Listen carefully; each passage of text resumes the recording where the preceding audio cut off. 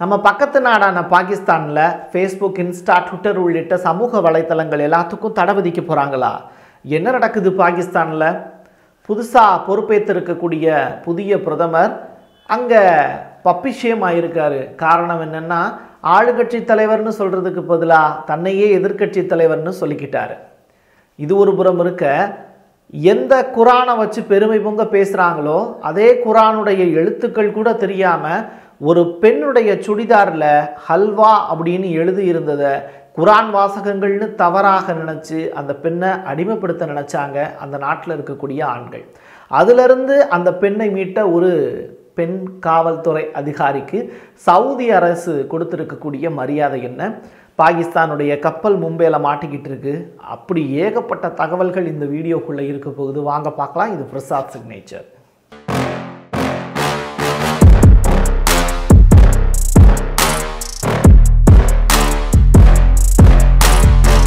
கான் டாங்கி பாகிஸ்தானுடைய முன்னாள் பிபிபியினுடைய மெம்பர் அது மட்டும் கிடையாது செனட் சபையினுடைய உறுப்பினர். இவர் செஞ்சிருக்கக்கூடிய காரியம் என்ன அப்படின்னு பார்க்கும்போது இன்றைக்கி பாகிஸ்தானில் இருக்கக்கூடிய இளைஞர்கள் எல்லாத்தையுமே கொதிப்படைய வச்சுருக்கு. அவர் அப்படி என்ன பண்ணார் அப்படிங்கிற கேள்விக்கு பதில் என்னென்னா ஃபேஸ்புக்கு இன்ஸ்டா ட்விட்டரு டிக்டாக்கு இப்படி இருக்கக்கூடிய எல்லா சமூக ஊடகங்களையும் பாகிஸ்தானில் நாங்கள் முடக்க போகிறோம் அதற்கு முன்மொழியக்கூடிய தீர்மானத்தை நான் செனட் சபையில் எடுத்து வைக்கிறேன் அப்படிங்கிறது தான் அவர் முன்மொழிந்திருக்கக்கூடிய அந்த தீர்மானம். இதற்கு மிகப்பெரிய அளவிலான எதிர்ப்பு கிளம்புது. இது தொடர்பான விவாதங்களும் நம்ம பேசிக்கிட்டு இருக்கக்கூடிய நீங்கள் பார்த்துக்கிட்டு இருக்கக்கூடிய இந்த நேரத்தில் பாகிஸ்தானில் விவாத பொருளாக மாறியிருக்கு. பத்து எரியக்கூடிய காட்டுத்தீ மாதிரி பாகிஸ்தானுடைய செனட் சபையில் மிக முக்கியமான விஷயங்கள் எல்லாத்தையும் பேச போகிறாங்க இதற்கு காரணம் என்ன? பாகிஸ்தானில் புதிய அரசு அமைஞ்சிருக்கு. புதியதொரு நாடாளுமன்றத்தில் உறுப்பினர்கள்லாம் சேர்ந்துருக்காங்க. முந்நூற்றி முப்பத்தி ஆறு பேர் உறுப்பினர்களாக இருக்காங்க. அதில் மிக முக்கியமான நபர்கள் எடுத்திருக்கக்கூடிய சூளுரை என்ன? புதிய பிரதமர் செபாஸ் ஷெரீப் இரண்டாவது முறையாக பிரதமர் நாற்காலியில் உட்கார்ந்துருக்கார். பாகிஸ்தானில் பொருளாதார தடைகள் உள்ளிட்ட ஏகப்பட்ட பிரச்சனைகள் பொருளாதார ரீதியாக மந்த நிலையில் இருக்கக்கூடிய பாகிஸ்தானை மீட்டெடுக்கக்கூடிய பிரதமராக அவர் இருப்பாராங்கிற ஏகப்பட்ட கேள்வி பிப்ரவரி மாதம் எட்டாம் தேதி நடந்த தேர்தல். அதற்கு பிறகு இம்ரான்கானுக்கு இருந்த அதி மிக முக்கியமான தீர்ப்புகள் எல்லாமே அவர் இன்னைக்கு சிறையில் உட்கார வச்சிருக்கு. பரிசு பொருள் ஊழல் வழக்குன்னு சொல்லிட்டு இம்ரான்கான் சிறையில் இருக்கும்போது நடந்த தேர்தல் அவர் சார்பாக நின்ற சுயேட்சை வேட்பாளர்கள் அவருடைய கட்சியினுடைய வேட்பாளர்கள் தொண்ணூற்றி இரண்டு பேர் நாடாளுமன்றத்தில் போய் உட்காந்துருக்காங்க அவங்களால எதுவும் சபாஷ் ஷெரீப்பை எதிர்த்து செய்ய முடியல. ஆனாலும் சபாஷ் ஷெரீப் மொத்தமாக வாக்குகள் எவ்வளவு அப்படின்னா இருநூத்தி ஒரு வாக்குகள் பெற்று நாடாளுமன்றத்தில் போய் உட்கார்றார். ஓட்டு எண்ணிக்கை நடக்கும்போது இரநூத்தி ஒரு ஓட்டுகள் கிடைத்து அவரை பேச சொல்கிறாங்க அப்படி பேச ஆரம்பிக்கும் போது சபாஷ் ஷெரீப் உதிர்த்த வார்த்தைகள் எதிர்கட்சி தலைவராகிய நான் அப்படின்னு சொல்லிட்டு கோஷம் எழுப்புறாரு. எல்லாரும் கெக்க பிக்கன்னு சிரிக்க ஆரம்பிச்சிட்டாங்க. எப்பா ஆளுங்கட்சியில் தானப்பா நீ இருக்க? நீ என்னப்பா எதிர்கட்சின்ட்ட அப்படின்னு சொல்லிட்டு சிரிக்கிறாங்க. அவங்க சிரித்ததோடு மட்டுமல்லாமல் அது சோஷியல் மீடியாவில் ட்ரெண்ட் ஆகுது. சோஷியல் மீடியாவில் ட்ரெண்ட் ஆன உடனே அங்கே இருக்கிறவங்களாம் சும்மா இருப்பாங்களா? மக்கள் கருத்துக்களை பதிவு செய்கிறாங்க இட்ஸ் அ காமெடியன் அப்படிங்கிறாங்க. இட்ஸ் அ ஜோக்கர் அப்படிங்கிறாங்க. இப்படி தொடர்ந்து செபாஸ் ஷெரீப்பை ஒரே நாள் தான் ஒய்யாரத்தில் தூக்கி வச்ச மக்கள் அவரை தூக்கி போட்டு இன்னைக்கு ஜோக்கர்னு சொல்லிட்டு காமெடியனாக மாற்றி விட்டுருக்காங்க. இப்படிப்பட்டவர் நாட்டினுடைய பொருளாதாரத்தை மீட்டெடுக்க போறாரு. அதற்கு இம்ரான் கான் அல்லவா சரியான நபர்? இம்ரான் கானை தூக்கி சிறையில் வச்சுருக்காங்களே. அந்த மாதிரியான பொய்யான குற்றச்சாட்டுகளை சொல்லி சிறையில் வச்சுருக்காங்களே. அவரை மீட்டு கொண்டு வாங்க. அவர் தான் எங்களுக்கான தலைவர்னு சொல்லிட்டு மக்கள் குரல் எழுப்ப ஆரம்பிக்கிறாங்க. இந்த தொண்ணூற்றி ரெண்டு பேர் நகைச்சுவையாக கடந்து சிரிக்க ஆரம்பிக்கிறாங்க. இரநூத்தி ஒரு பேரும் வந்து இவரையா தேர்ந்தெடுத்தோன்னு சொல்லிட்டு அவமானத்தில் வெட்கி தலை குனிகிறாங்க இப்படிப்பட்ட நிகழ்வுகள்லாம் பாகிஸ்தானில் அரங்கேறிக்கிட்டு இருக்கிறத பார்த்து உலக நாடுகள் பிரமிப்போட பார்த்துக்கிட்டு இருக்கு. என்னப்பா இது? ஜனநாயக நாட்டில் இப்படி ஒரு தலைவரையை கொண்டு வந்து இப்போ நவாஸ் ஷெரீஃபுங்கிற ஒருத்தர் அவர் மறுபடியும் லண்டனுக்கே போயிடலாம் போல. அவர் எதுக்கு மறுபடியும் வந்து இங்கே பாகிஸ்தானில் வந்து உக்காந்துருக்கார்? அவருடைய மகள் பஞ்சாபில் வந்து முதல்வராக இருக்காங்க அது மகிழ்ச்சிகரமான விஷயம்தான். இல்லையா? ஆனால் நவாஸ் ஷெரீப் மாதிரியான ஒரு பிற்போக்குவாதிகள் அந்த இடத்துல தொடர்ந்து நீடிக்கிறது. அவருடைய பிரதர் வந்து பிரதமராக மறுபடியும் ரெண்டாவது முறை தொடர்வதுங்கிறது பாகிஸ்தானில் இருக்கக்கூடிய மக்களை பெரிய அளவில் ரசிக்கலை காரணம் என்னென்னா பாகிஸ்தானில் இருக்கக்கூடிய பழமைவாதம் அந்த பழமைவாதத்துக்கு ஒரு உதாரணம் சொல்லவானான்னு एक साल से हम लोग इधर ईएसपी के तौर पे सर्व कर रहे हैं किसी को कोई शिकायत नहीं आई इस तरह के वाकयात हमने तीन पूरे निभाए हैं आप लोग को हम पे पूरा ट्रस्ट होना चाहिए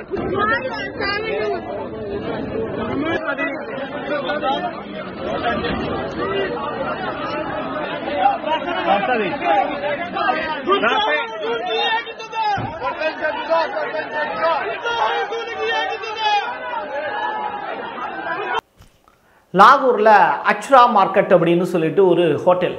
அந்த இருக்கக்கூடிய ஏரியாவில் ரொம்ப பிரபலமான ஒரு ஹோட்டல்னு சொல்ல முடியாது. ஒரு சாதாரண ஒரு ஹோட்டல் அந்த ஹோட்டலுக்கு ஹஸ்பண்ட் அண்ட் ஒய்ஃப் வந்து டீ சாப்பிட்றதுக்காக டிஃபன் சாப்பிட்றதுக்காக போகிறாங்க அப்படி போனவங்க அந்த பெண் அணிந்திருக்கக்கூடிய உடைங்கிறது அந்த ஏரியாவில் இருக்கக்கூடிய எல்லாரும் பார்க்க ஆரம்பிக்கிறாங்க. எல்லாரும் பார்த்து சிரித்த உடனே அந்த ட்ரெஸ் நல்லா இருக்குல்ல அப்படின்னு தன்னுடைய கணவன்கிட்ட பெருமை பொங்க பேசிட்டு அந்த டீ ஷாப்பில் போய் உட்காடுறாங்க கொஞ்ச நேரத்தில் அந்த டீ ஷாப் முன்னாடி எல்லாருமே திரண்டுட்டாங்க. திரண்டவங்க அந்த பெண்ணுடைய உடையை பார்த்து பார்த்து பார்த்து பார்த்து திட்டுறாங்க. திட்டுறவங்க ஃபஸ்ட்டு இந்த பொண்ணு வந்து எதுக்கு திட்டுறாங்க அப்படிங்கிறது தெரியாமல் பேசாமல் இருக்காங்க. அதற்கு பிறகு அந்த கலவரக்கார கும்பல் வந்து ஒட்டுமொத்தமாக ஒன்று சேர்ந்து குரானை இந்த பொண்ணு அவமதிச்சிருச்சு அப்படிங்கிற வார்த்தையெல்லாம் பதிவு செஞ்சு கத்துறாங்க. அந்த ட்ரெஸ்ஸில் குரான் வாசகங்கள் இருக்குது அப்படிங்கிறது தான் இந்த கலவரக்கார கும்பல்களுடைய புகார். உடனே அந்த பொண்ணு வந்து பார்த்தீங்கன்னா இட்ஸ் ஹல்வான் தான் எழுதியிருக்கு. It's not it's not Quran word அப்படின்னு சொல்லிட்டு சொல்கிறாங்க ஆனால் அந்த பொண்ணு பேசவே விடாமல் அந்த பொண்ணை வந்து அடிக்கிறதுக்கு பாயுது இந்த கும்பல். அது மட்டும் கிடையாது அந்த பொண்ணை சுற்றி வளைச்சிட்டாங்க அந்த கடையை. பாகிஸ்தானில் ஒரு விஷயம் உங்களுக்கு தண்டனை என்னங்கிறது தெரியுமா?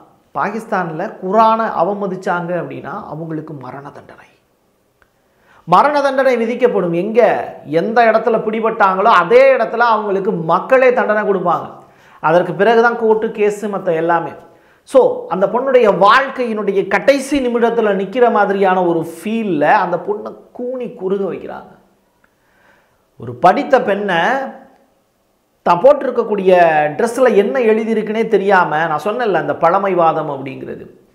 குரான் மேலே எல்லாருக்கும் மரியாதை இருக்குது நபிகள் நாயகத்தின் மேலே எல்லாருக்கும் மரியாதை இருக்குது ஆனால் அந்த பொண்ணு என்ன எழுதியிருக்கு அப்படிங்கிறது கூட தெரியாமல் அந்த பழமைவாத படிக்காத மக்கள் அந்த பொண்ணு மேலே தாக்குதல் நடத்துறதுக்கு தயாராகிறாங்க. போலீஸாருக்கு உடனே தகவல் போகுது. அங்கேருந்து ஒரு இஸ்லாமிய சகோதரி காவல் உடையோட வர்றாங்க. வந்தவங்க பேர் தான் நக்பி. அவங்க உள்ளே வந்தவங்க சிங்கப்பெண்ணே அப்படிங்கிற பழம்லாம் பாட்டெலாம் இங்கே என்னங்க? அந்த பெண்ணுக்கு தாங்க அந்த வீடியோ காட்சியை போடும்போது வந்து அந்த பெண்ணுக்கு வந்து அந்த பாட்டு தாங்க போடணும். ஒரு காவல்துறை சாதாரண ஒரு காவல்துறை அதிகாரியாக உள்ளே வந்தவங்க என்னைய நம்புங்க. என் நாட்டில் இருக்கக்கூடிய மக்களாகிய உங்கள்கிட்ட நான் கேட்குறேன் என்னை நம்புங்க. காவல்துறை உடை அணிந்து வந்திருக்கிறேன். இந்த பொண்ணை வந்து நான் செக்யூர்டாக கூட்டு போகிறேன் உங்களுடைய அனுமதியோட. இந்த பொண்ணு மேலே தவறு இருந்தது அப்படின்னா கண்டிப்பாக நான் தண்டனை வாங்கி கொடுப்பேன். என்னை நம்புங்க. இது இஸ்லாத் மீதும் சரி நம்முடைய மதத்தின் மீதும் சரி நான் வைத்திருக்கக்கூடிய நம்பிக்கையின் அடிப்படையிலும் சரி நீங்கள் வச்சிருக்கக்கூடிய நம்பிக்கையின் அடிப்படையிலும் சரி நான் இந்த பொண்ணை பாதுகாப்பாக கூட்டு போகிறேன் உங்களோட அனுமதியோட. இந்த பொண்ணு தப்பு செஞ்சுருந்தது அப்படின்னா நிச்சயமாக தண்டிப்போம். எல்லாரும் சேர்ந்து தண்டிப்போம். அப்படின்னு சொல்கிறாங்க அந்த மோ கலவரக்கார கும்பலை தடுத்து நிப்பாட்டுறாங்க. நான் இருக்கேன் உங்கள் சார்பாக நான் இருக்கேன். அந்த சகோதரியை என்கிட்ட விடுங்க. நான் பார்த்துக்கிறேன் அப்படிங்கிறாங்க. நீங்கள் இதில் சிரமப்பட வேண்டாம். அந்த பொறுப்பை நான் எடுத்துக்கிறேன் அப்படின்னு சொல்லிட்டு கூட்டு போய் விசாரிப்போம். தப்பாக இருந்தால் தண்டனை கொடுப்போம் அப்படிங்கிறாங்க. அதற்கு பிறகு அந்த கலவராக்கார கும்பல் இந்த பெண்ணுடைய அந்த கம்பீரமான குரல்லையும் ஒரு நம்பிக்கை கொடுக்கக்கூடிய வார்த்தைகளையும் நம்பி அந்த பொண்ணை வழிவிடுறாங்க போகிறதுக்கு முகத்தை பொத்திட்டு அந்த ட்ரெஸ்ஸை பார்த்தா கோவப்படுவாங்கன்னு சொல்லி ஒரு பெரிய துணியை வச்சு அந்த பெண்ணை காப்பாற்றி முகத்தை மூடி கூட்டிகிட்டு போகிறாங்க போலீஸ் ஸ்டேஷனுக்கு எவ்வளவு பெரிய ஈவெண்ட் அந்த இடத்துலேருந்து அந்த இடத்த கிராஸ் பண்ணுறதுங்கிறது சவாலான விஷயம்.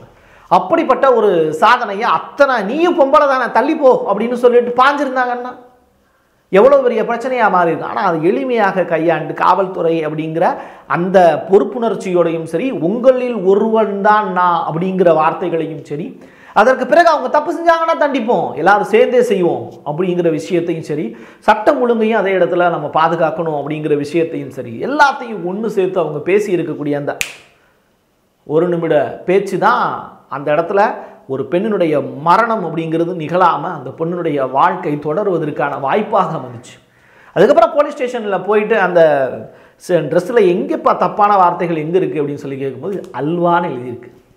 அல்வான்னு எழுதியிருக்கு அதில். இதுக்கு தான் சொல்கிறது படிங்கடா படிங்கடா அப்படின்னு. அதற்கு பிறகு அந்த அல்வா அப்படின்னு எழுதியிருக்கிற வாசகங்கள் மட்டுமல்ல. ஆனால் ஏதோ ஒரு விதத்தில் அந்த நபர்களை காயப்படுத்தியிருக்காங்கல்ல.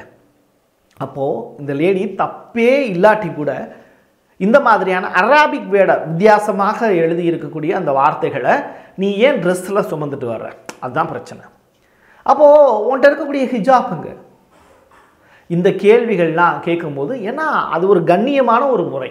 உன்னுடைய உடை தான் கண்ணியமான ஒரு உரையாக இருக்க வேண்டுங்கிறது பாகிஸ்தானில் இருக்கக்கூடிய இஸ்லாமிய சகோதரர்களுடைய எண்ணப்பாடு. அதை ஏமா நீ செய்யலை அப்படின்னு சொல்லிட்டு அங்கே இருக்கக்கூடிய மத தலைவர்கள் காவல்துறை அதிகாரிகளுடைய துணையோடு அந்த பொண்ணுகிட்ட கொஸ்டின் ரைஸ் பண்ணுறாங்க ஐ வெரி சாரி அப்படின்னு சொல்லிட்டு அந்த மத தலைவர்கள்ட்ட மன்னிப்பு கேட்குறாங்க பாகிஸ்தானில் இருக்கக்கூடிய ஒட்டுமொத்த மக்களிடத்துலையும் நான் தவறு செஞ்சுட்டேன் அப்படின்னு மன்னிப்பு கேட்குறாங்க அந்த பிரச்சனை உடனடியாக முடிக்கப்படுது. எல்லாருமே வந்து அந்த விஷயத்தை காமாக எடுத்துக்கிட்டு கலைகிறாங்க எவ்வளவு பெரிய பிரச்சனை?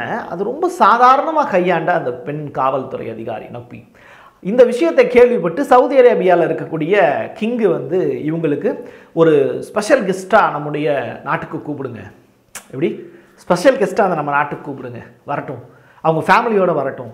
இப்படிப்பட்ட பெண்கள் தான் வந்து நம்முடைய இஸ்லாத்தினுடைய பெருமையும் சரி நம்முடைய நாட்டினுடைய பெருமையும் சரி மனிதநேயத்தையும் காப்பாற்றிருக்காங்க ரொம்ப முக்கியமான விஷயம்.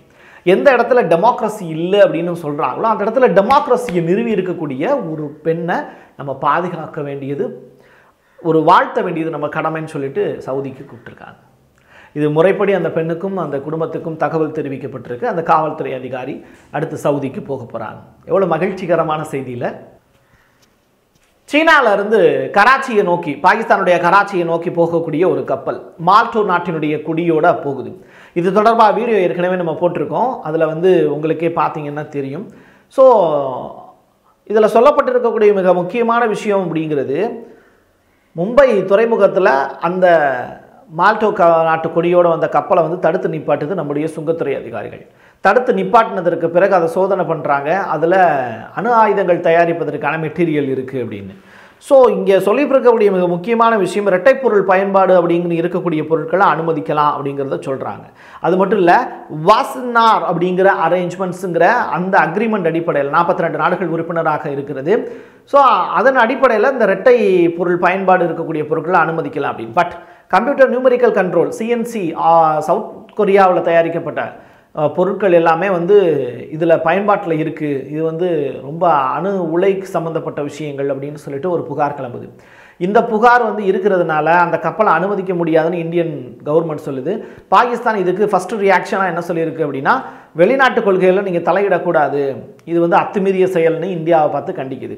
பாகிஸ்தானுடைய பிரதமர் ஒருத்தர் சீட்டில் உட்கார்ந்ததற்கு பிறகு இந்த கப்பல் தொடர்பாக பாகிஸ்தானுடைய வெளியுறவுத்துறை எழுப்பி இருக்கக்கூடிய கண்டன குரலையும் அடுத்த கட்டமாக இந்த கப்பல் என்ன ஆக போகுது இதை விடுவாங்களா விடமாட்டாங்களா அப்படிங்கிற பெரிய கேள்விகளுக்கு இடையில இந்த அரேஞ்ச்மெண்ட்ஸ் ரிலேட்டடான டாக்குமெண்ட் ரிலேட்டடான விஷயங்களும் பெரிய அளவில் பேச போகிற மாதிரி இருக்குது இது தொடர்பான லிங்க் வந்து டீட்டெயில் ரிப்போர்ட் வந்து நம்முடைய பிரசாத் சிக்னேச்சரில் இருக்குது அந்த லிங்கையும் டெசிக்னேஷனில் கொடுக்குறேன். அதையும் நீங்கள் பாருங்கள் நிறையா விஷயங்கள் அது டிஸ் டிஃபென்ஸ் ரிலேட்டடான நிறையா விஷயங்கள் அதில் இருக்கும். அதையும் பார்த்து நீங்கள் நிறையா விஷயங்களுக்கு தெரிஞ்சுக்கலாம்.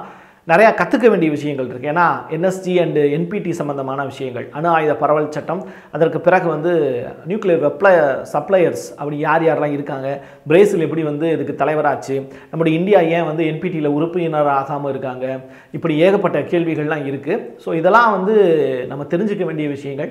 அதை பற்றியும் நம்ம தெரிஞ்சுக்கிட்டோம் அப்படின்னா இந்தியாவுக்கும் பாகிஸ்தானுக்கு இடையில இருக்கக்கூடிய பஞ்சாயத்தில் சீனா எப்படி அம்பு மூட்டி விடுது தீ மூட்டி விடுது அப்படிங்கிற விஷயங்கள்லாம் உங்களுக்கு நல்லாவே இதில் புரியும். ஸோ இந்த மாதிரியான ஏகப்பட்ட டிஃபென்ஸ் ரிலேட்டடான செய்திகளையும் பாகிஸ்தான் தொடர்பான பிரச்சனைகளுக்கு முற்றுப்புள்ளி வைக்கக்கூடிய வகையில் இப்போ புதியதொரு பிரதமர் தேர்ந்தெடுக்கப்பட்டிருக்கிறார். அவருக்கான வாழ்த்துக்களையும் சொல்லி நிறைவு செய்யலாம். என் கையெழுத்து என் மக்களுக்கான மீண்டும் ஒரு பதிவில் சந்திக்கலாம். நன்றி வணக்கம். நிறைய நல்ல தரமான வீடியோக்களை பார்க்கறதுக்கும் அதே மாதிரி செய்திகளினுடைய ஆழம் சென்று தெரிஞ்சுக்கிறதுக்கும் வரலாற்றை பேசுறதுக்கும் கேட்கறதுக்கும் எல்லாத்துக்குமா இருக்கக்கூடிய பிரசாத் சிக்னேச்சர் சேனலை உடனடியாக லைக் பண்ணுங்க ஷேர் பண்ணுங்க கமெண்ட் பண்ணுங்க. மறக்காம சப்ஸ்கிரைப் பண்ணி பெல் ஐக்கானை கிளிக் பண்ணிருங்க.